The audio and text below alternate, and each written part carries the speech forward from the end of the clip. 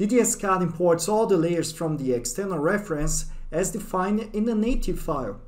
To check the layers, we come to the layer display. Here, we can also filter the layers that come from the external reference as DWG layer. In the column on, we can turn on and off the layers. But there is an easier way to clean up a external reference. To do so, we make use of the function layer wizard. We move our cursor to the layers and when highlighted, we can left click to hide the, the layer. This way, we can simply hide all the layers we don't need to use.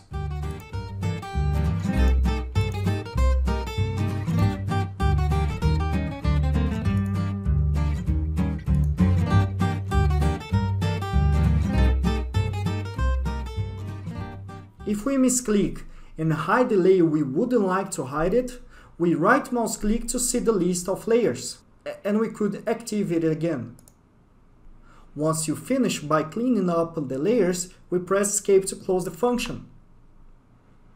And by coming back in a layer display, we can save it by creating a layer setup.